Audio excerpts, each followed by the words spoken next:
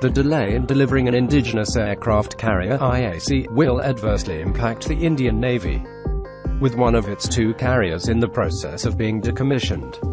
The government editor has pointed out.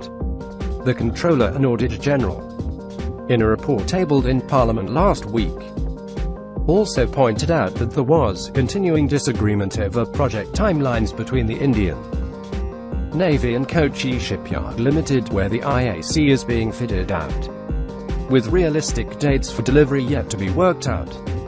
The delay has also resulted in the cost escalating beyond the originally sanctioned 19 rupees 341 crore. The report said, adding that the overall physical progress of the carrier was not accessible.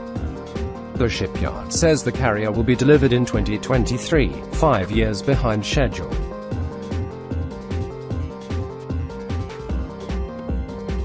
With INS Viraat in the process of being decommissioned she set out on her farewell voyage from Mumbai to Kochi earlier this week India will be left with only one aircraft carrier.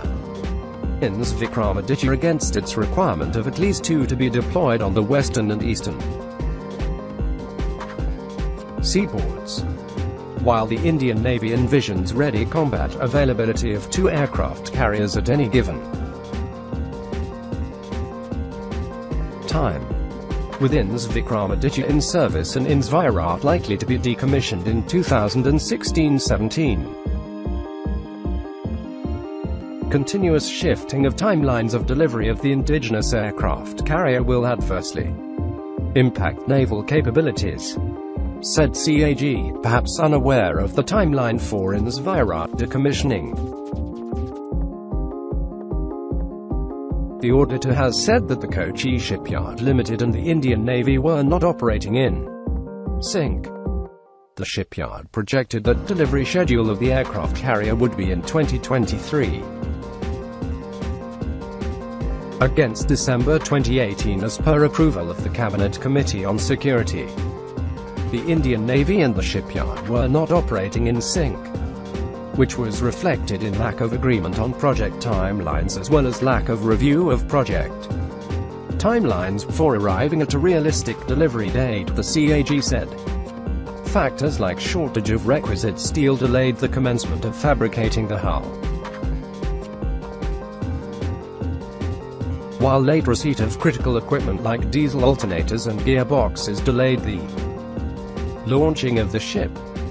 The report also said delayed constitution of the empowered Apex Committee meant the project was not being monitored at the Apex level and the steering committee remained dysfunctional between October 2007 to August 2013, which was almost the entire duration of Phase 1 of the project. There was also a shortfall in the meetings of the Project Management Board and other project monitoring mechanisms. Neither the ministry nor the shipyard could assess the physical state of construction of the ship, as the ministry failed to incorporate essential formats for progress reporting in the contracts. The CAG said. The report also said that the MiG-29K aircraft that will operate from the IAC continues to face operational deficiencies due to defects in engines, airframe and fly-by-wire system. The compatibility of the aircraft for deck operations is also still to be fully proved.